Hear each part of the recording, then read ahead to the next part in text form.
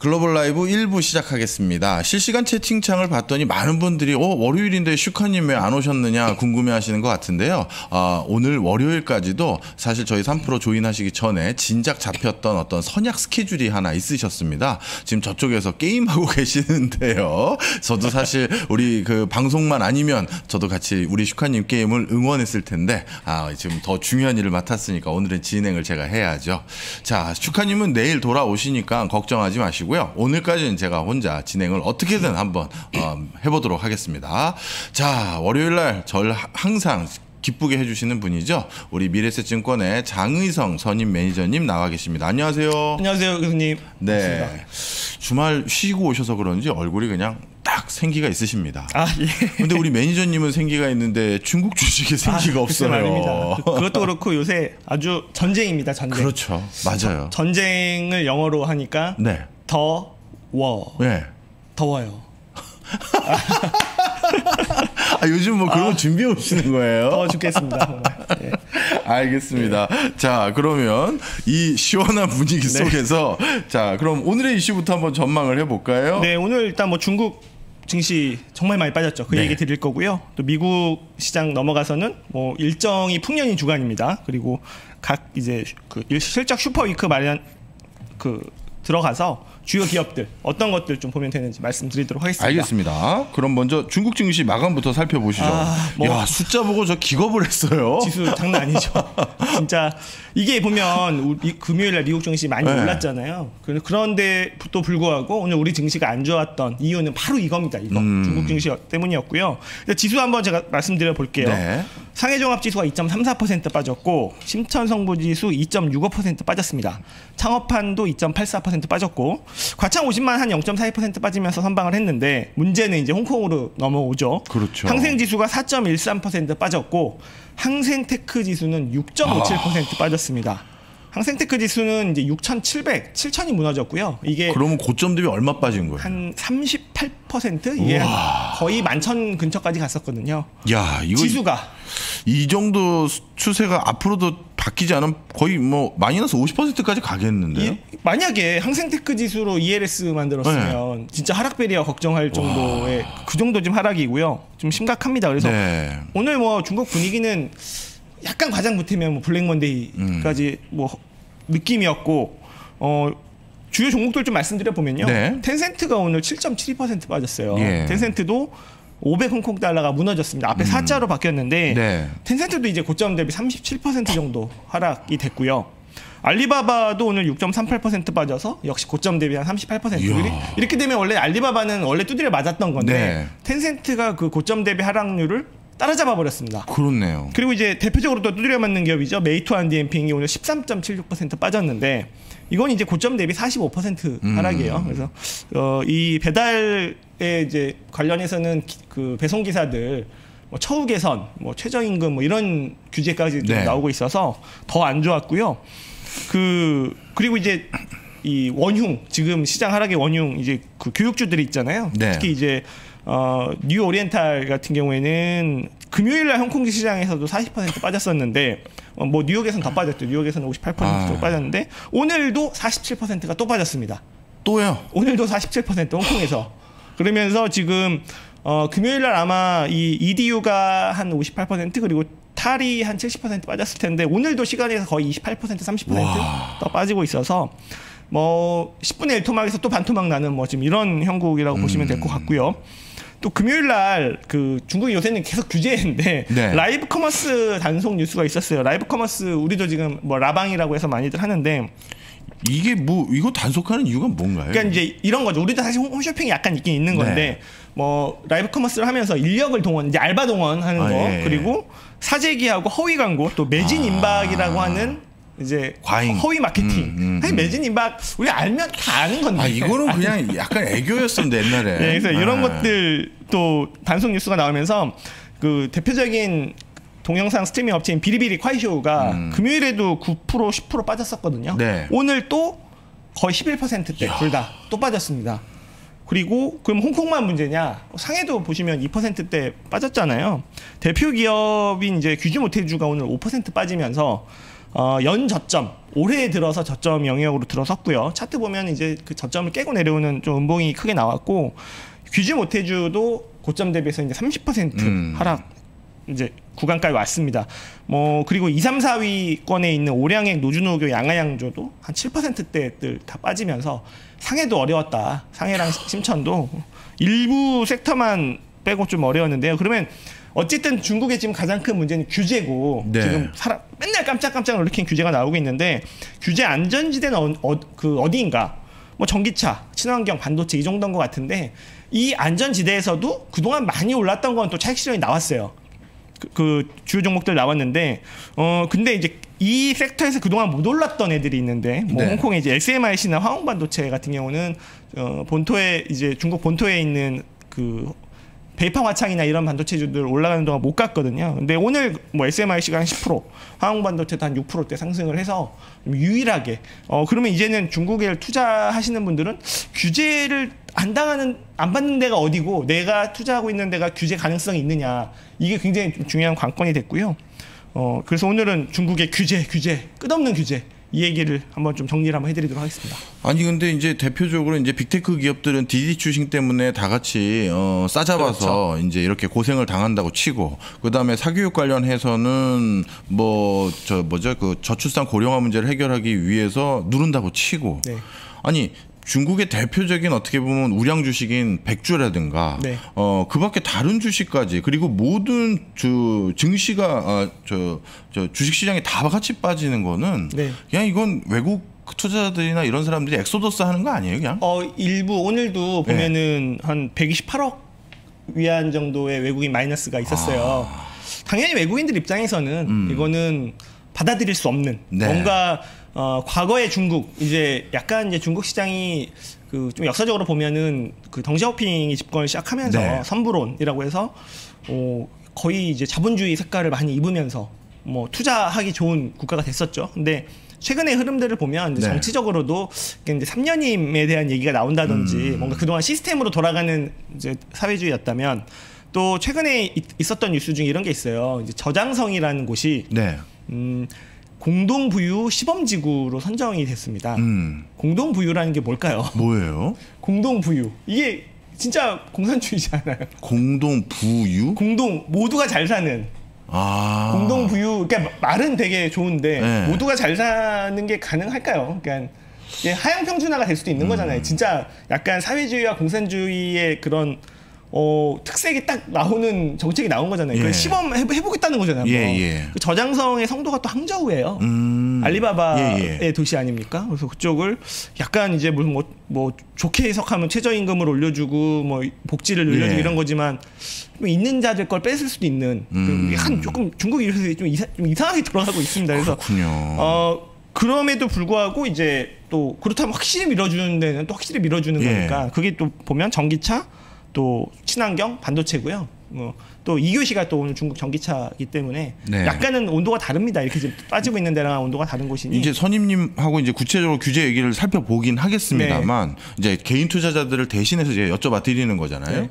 사실 반도체나 전기차 이런 거는 그럼 믿을 수 있느냐라고 했을 때 이건 또 중, 미국이 가만히 안 두는 종목들이거든요. 맞아요. 네. 대표적으로 어떻게 보면 시진핑의 모교에서 만든 학내 창업한 반도체 회사라고 맞아요. 네. 상징적인 치와윤이 같은 경우도 네. 파산을 했고 이런 것들은 이제 더 이상 반도체 굴기를 미국이나 글로벌사에서 안 보겠다.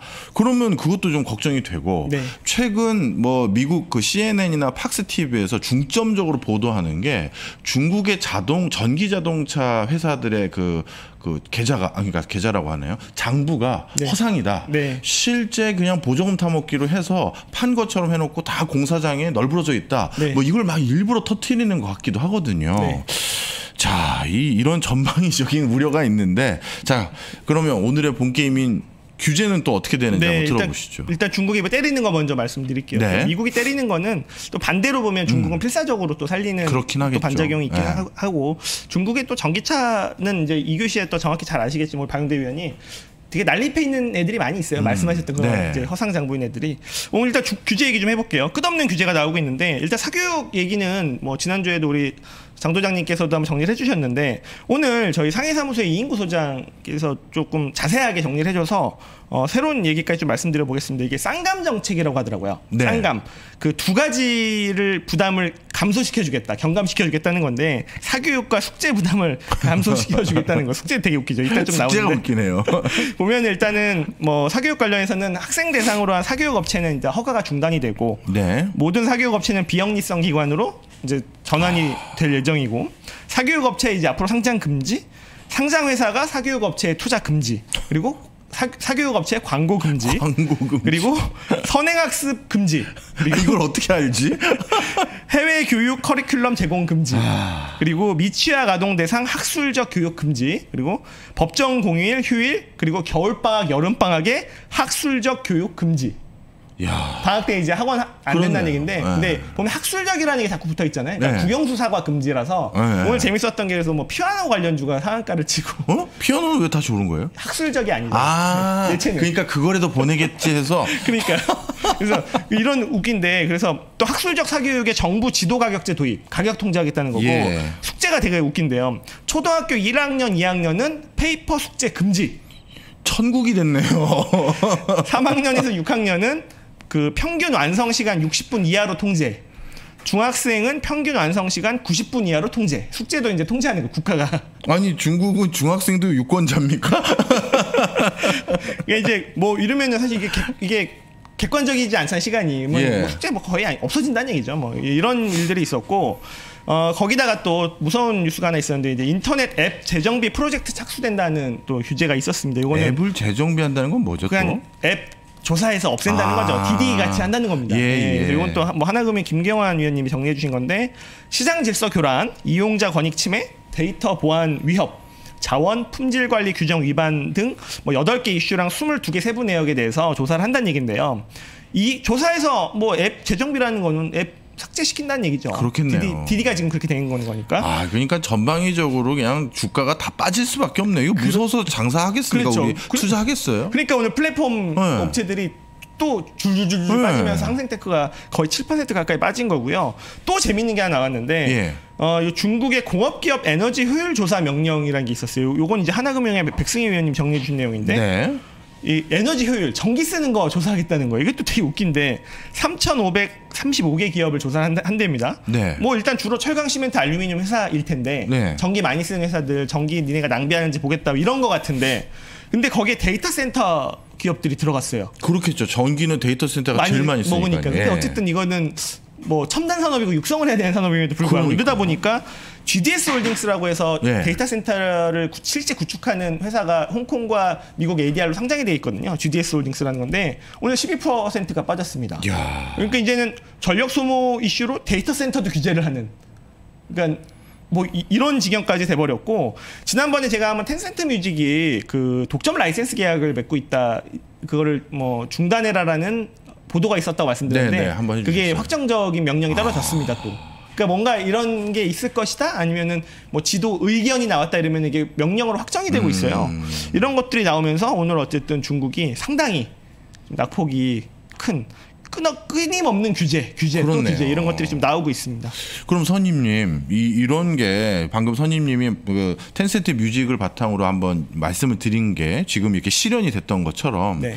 그럼 앞으로 우리는 어떻게 해야 돼요? 지금 분위기가 이 규제라는 건 하루아침에 다시 얼굴을 바꿀 수는 없을 것 같거든요. 그렇죠. 네. 그래서 네. 일단은 모든 이제 중국의 투자 전략 예. 애널리스트 분들 의견이 요 규제 받는 쪽에는 이제 넣지 말자. 일단은 뭐 어. 저점 매수를 하신 분도 있겠지만 예.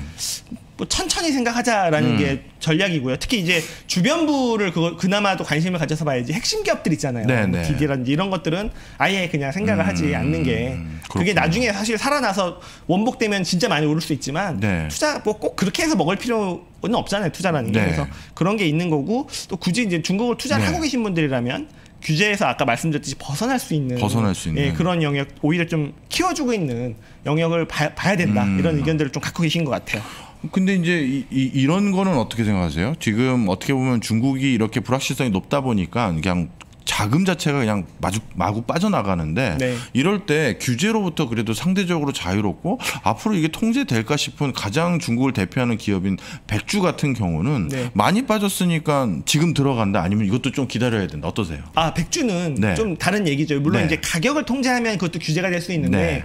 사실 그 규제 모태주 같은 경우는 가격을 안 올린다고 선언을 했고 음. 이거는 소비주니까요. 소비주는 네. 또 다르게 볼 필요가 있어요. 음. 소비주에 대해서는 어, 또 그 규제 영역은 아닐 것 같습니다. 음. 그러다 보니 그런 것들은 분명히 이제 저점 매수는 될 수 있는데 또 트렌드 변화라는 게 좀 있으니까 음, 백주라는 거는 어 과거에 보면 이제 베트남도 우유 기업이 시가총액 1등인 적이 있었는데 네. 그게 이제 지속될 수는 없잖아요. 예, 예.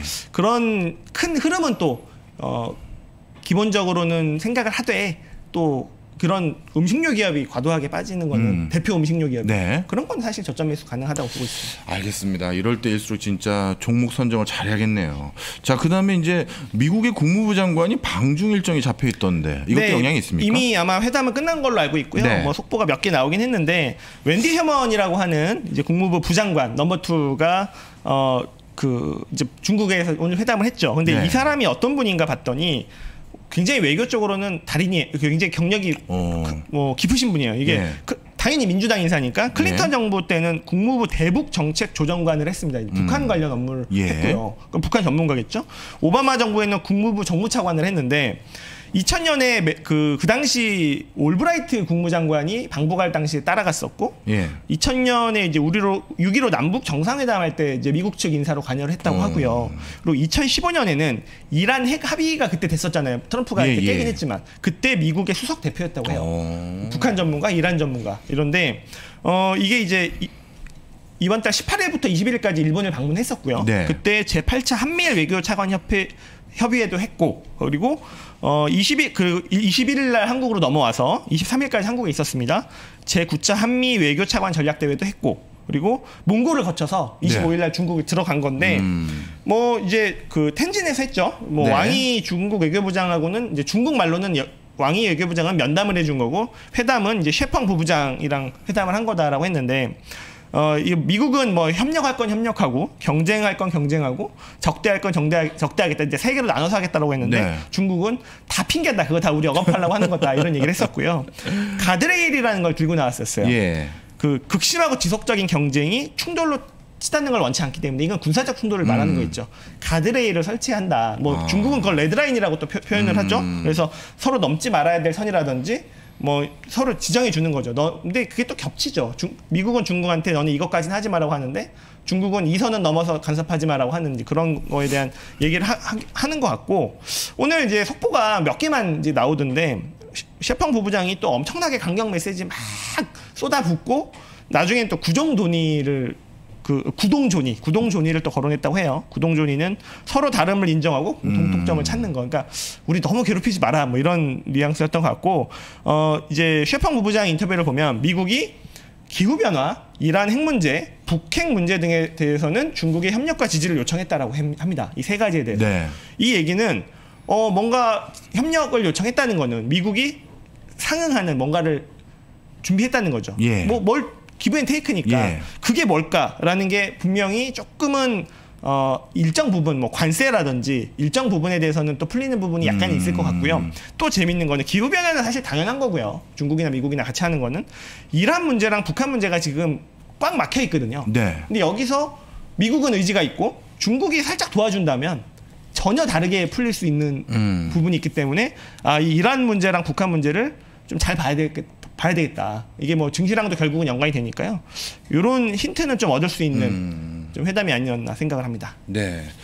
뭐 지금 경제도 어려운데 이런 분까지 와가지고 정말 중국 증시를 살피기가 네. 어렵게 됐네요. 그렇죠. 알겠습니다. 중국 증시는 내일도 다양한 소식 가지고 오실 것 같고요. 네. 이번엔 그럼 미국 증시 개장 전 이슈 한번 살펴보겠습니다. 일단은 선물이 뭐 조금 소폭 하락이긴 한데요. 뭐 영, 나스닥 0.14, 뭐 S&P 500 0.16, 다우존스 0.2 하락이긴 한데 뭐 아시아 증시에 비해서는 역시 미국은 선방하고 있고요.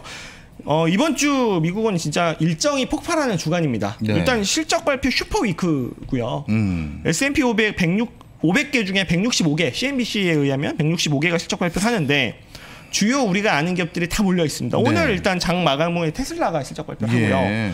내일은 이제 애플, 마이크로소프트, 알파벳, 야. 비자, 스타벅스, AMD 그리고 수요일 날은 장전에 화이자, 보잉, 쇼피파이, 맥도날드 장 끝나면은 페이스북, 페이팔, 퀄컴, 램 리서치. 음. 목요일에는 뭐 마스터카드, 머크, 사노피, 아스트라제네카, 아마존, 포드.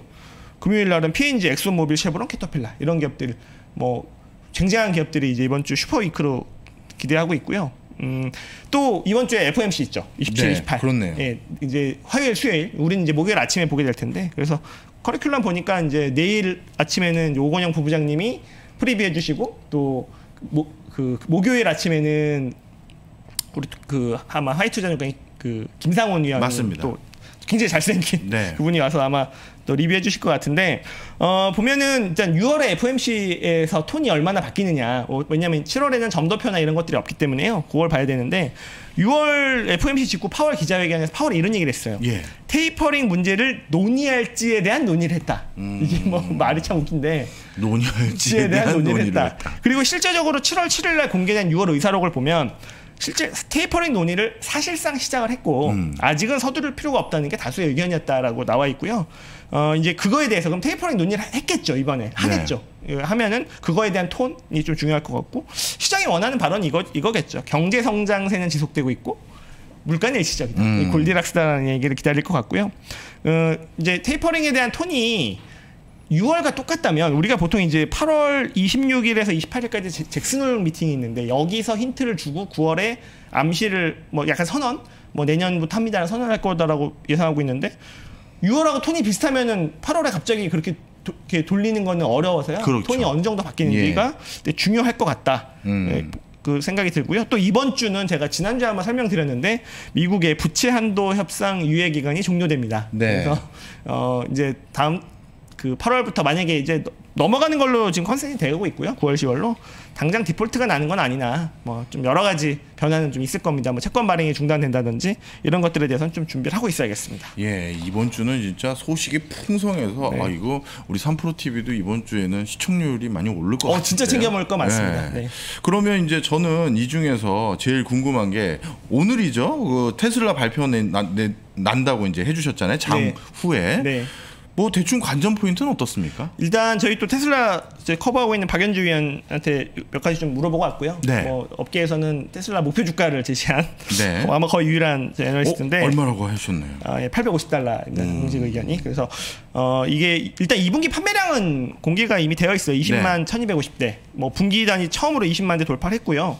근데 문제는 크레딧을 제외하고 얘는 이제 크레딧으로 많이 벌었거든요. 근데 흑자 전환을 했을지가 항상 이제 테슬라 공격하신 분들이 이제 그거 갖고 물어, 물고 늘어지는데 크레딧을 제외하고 흑자 전환했을지가 좀 관전 포인트고요. 그리고 네. 또 크레딧이 줄었을지 늘었을지 일단 그 스텔란티스가 이제 자기들 필요 없다라고 했거든요. 그럼에도 불구하고 또 다른 데가 필요할 수 있기 때문에 요거에 대해서도 한번 체- 체크해 볼 필요가 있고 더 중요한 거는 네. 실적보다는 AI Day 그래서 언제 하냐 왜냐면은 7월 안에 하는 걸로 알고 있었거든요. 근데 아직까지 개최 일정이 안 나왔으면 일단 7월은 넘어간 것 같은데 어 뭐 질문이 나올 수도 있고 언급을 하겠죠 AI Day AI Day에 대한 언급 언제 할지 이게 되게 중요합니다. 그리고 FSD 이제 구독 서비스가 시작됐잖아요 일주일 전부터. 근데 이거에 대해서 초기 반응에 대한 코멘트가 나올지 이런 것들 봐야 될 것 같고 일단 구독 서비스는 이렇게 보시면 될 것 같아요. 이게 지금 그냥 살려면 마- 만 달러잖아요. 뭐 천만 원 넘는 돈을 들여야 되는데 구독 서비스는 이제 199달러인데 뭐 한 달 써보고 안 써도 되니까 그렇긴 하죠. 일단은 넣어보는 사람들이 굉장히 많, 많지 음. 않겠느냐. 지금 박연주 의원 의견이 그렇습니다. 그런데 한 달만 써보고 안 써도 되니까 넣었다가 매료돼서 계속 쓰는 사람이 음. 늘어날 수 있다. 이 정도 보시면 될 것 같고요. 또 지금 FSD 베타 9이 지금 유튜브에서 화제입니다. 그 비전으로만 굉장히 이런 우회전 좌회전 예. 이런 것들 잘하는데 그거는 일단은 일부 테스터들만 쓰고 있는 거라서 음. 이게 YG 릴리즈라고 하는 네. 다른 사람들한테 다 그 업데이트되는 시점이 언제쯤일지 이런 거에 대한 음. 것들 한번 체크해 보면 좋을 것 같습니다. 네. 그 다음에 또 한 가지는 아까 말씀 주신 것 중에서 애플, 애플도 한번 여쭤볼게요. 예, 애플은 또 저희 당사 이제 유영호 위원이 커버하고 있어서 여러 가지 좀몇 가지만 좀 물어봤는데 일단 실적은 우려할 필요가 없다고요. 네. 근데 이제 문제는 이거예요. 3분기 생, 생산 차질 이슈에 대한 좀 코멘트를 들어야 될 것 같아요. 왜냐면 지금 뭐 독일에서도 홍수가 많이 났지만 주말 새 뉴스 보면 중국에도 어마어마한 홍수가 있었죠. 그렇죠. 정저우시라고 예. 하는 데라고 하던데 뭐 그 다리 지하차도에 꽉 차가지고 물이 빠지고 보니까 차들이 어마어마하게 있고 네, 좀뭐 안타까운 대가 있다고 예. 사건이 있었는데 예. 이 정저우시에 폭스콘 공장이 있어요. 아. 근데 그 폭스콘 공장은 뭐 몇 개 도시에 있긴 한데 네. 정저우시랑 그 선전시가 메인 공장이고 정저우시에 있는 게 제일 크대요. 어. 근데 이제 폭스콘은 발표를 했습니다. 공장은 피해가 없다고 했지만 네. 문제는 물류랑 인력의 차질이 있어요. 그렇겠죠. 그래서 지금 정저우시 공장에서 한 네 달치 월급을 보너스로 줄 테니 일하러 와라라는 구인 공고가 올라올 정도입니다. 어. 그러면은 분명히 생산 차질은 있을 것 그렇겠네요. 같고요. 이거가 이제 애플에는 좀 영향을 미칠 수 있는 음. 거고 또 부품 공급 이슈가 있기 때문에 지금 한, 이 뭐가 걸려 있잖아요. 이게 병목 현상이 좀 걸려 있잖아요. 음. IT는 지난 실적 발표에서 2분기에 한 40억 달러 정도의 영향이 있을 거다. 이제 음. 드- 들 만들 수밖에 없겠다라는 네. 이러면 거의 한 5% 정도 되거든요. 분기 매출에. 근데 그게 실질적으로 얼만큼 영향을 미쳤는지 그리고 그럼 또 3분기에는 우리가 얼- 어느 정도의 생산 영향이 있겠습니다라는 또 얘기를 할 거기 때문에 그걸 좀 봐야 될 것 같고 애플은요 가이던스를 요새 제시하지 않고 있거든요. 어 그래요? 어, 몰랐네. 그 작년 1분기 실적 발표하면서 2분기 가이던스부터 안 나왔어요. 아 코로나. 핑계는 코로나. 아, 코로나. 그러면은 네. 요번에 어떨 것 같아요? 그러니까 코로나 핑계로 아직 또 안 하겠죠. 음. 코로나가 뭐 완전히 사라질 때까지는 어 가이던스는 아마 안 하지 않을까. 뭐 하면 좀 surprise 될 수 있는 음. 그 정도를 보시면 좋을 것 같습니다. 고- 알겠습니다. 네. 그러면 이제 애플도 살펴봤고 테슬라도 살펴봤으니 자연스럽게 여쭤볼 수밖에 없는 게 반도체 기업들이겠네요. 네, 반도체 기업들도 좀 말씀드릴게요. 이것도 이제 뭐 AMD나 뭐 퀄컴 이런 것들 커버하는 게 이제 저희 유영호 의원이어서 좀 물어봤는데 일단 기본적인 가정은요. 지난주에 일- 인텔이 실적 발표했거든요. 네. 여기서 좀 깜짝 말 놀랄만한 뉴스가 우리가 반도체 공급 이슈 있잖아요. 반도체 공급 차질. 이게 2분기가 피크라고 다들 생각하고 있었는데 네. 인텔의 CEO가 어, 한 3분기가 피크 라고 얘기를 했습니다. 그러면서 한 1, 2년 동안 이 이슈가 지속될 것이다. 우리는 이제 곧 음. 끝난다고 생각해서 자동차 업체들 좋지 않냐 이랬는데 예. 최근에 보면 자동차 업체도 좀 주춤한 이유가 다 여기 있는 거고요. 음. 어, 이게 기본 가정으로 깔아야 될 것 같아요. 그러면서 텍사스 인스트루먼트도 지난주 실적 발표했는데 earning surprise를 음, 냈지만 가이던스를 보수적으로 했어요. 네. 생산 차질이 있을 것 같다. 네, AMD 쪽을 보면 기본적으로 이제 생산 차질은 안 좋은 뉴스인데 인텔이 이제 데이터 센터 향의 ASP 평균 판매가가 2분기에 신제품 아이스레이크가 나왔음에도 불구하고 4분기 연속 떨어졌어요. 음. 그 이유를 경쟁 심화라고 얘기를 했거든요. 근데 경쟁자 한 명밖에 없거든요. 그렇죠. AMD. AMD. AMD가 좀 갉아먹었다는 얘기 예. 때문에 이거에 대한 기대감은 좀 있을 수 아하. 있고요. AMD는 그걸 좀 보시면 될 것 같고 퀄컴은요. 애플이 좋으면 퀄컴은 일단 기본적으로 좋다. 그렇겠죠. 예, 근데 보면은 또 최근에 스마트폰 동향 시장 동향을 보면요.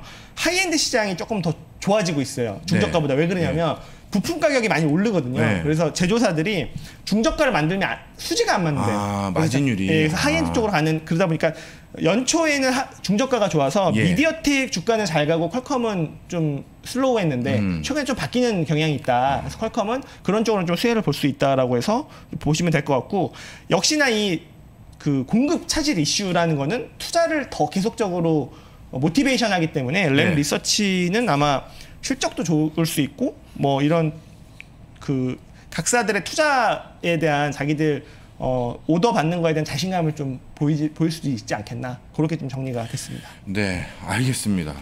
어떻게 우리 장선임님께 소식을 들은 게 하나는 천당이고 하나는 지옥인 것 같은 느낌이 들어서. 미국은 괜찮아요. 예.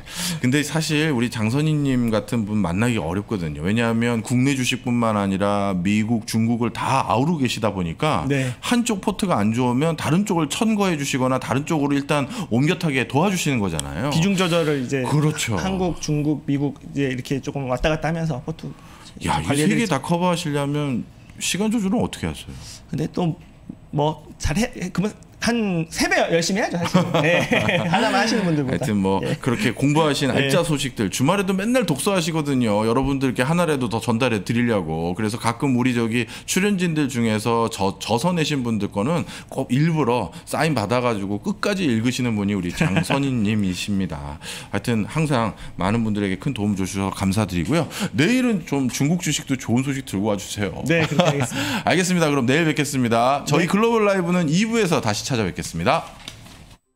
페이지 2 인기 강좌 두 편을 특별히 할인된 가격에 만나보시죠. 국내 최고 시황맨 두 명이 알려주는 박병창의 매매 기술 그리고 연불리의 친절한 주식 기초교육 두 강의 패키지로 구매 시 특별한 혜택과 할인된 가격으로 수강할 수 있습니다. 자세한 사항은 페이지 2 공지사항을 확인하세요.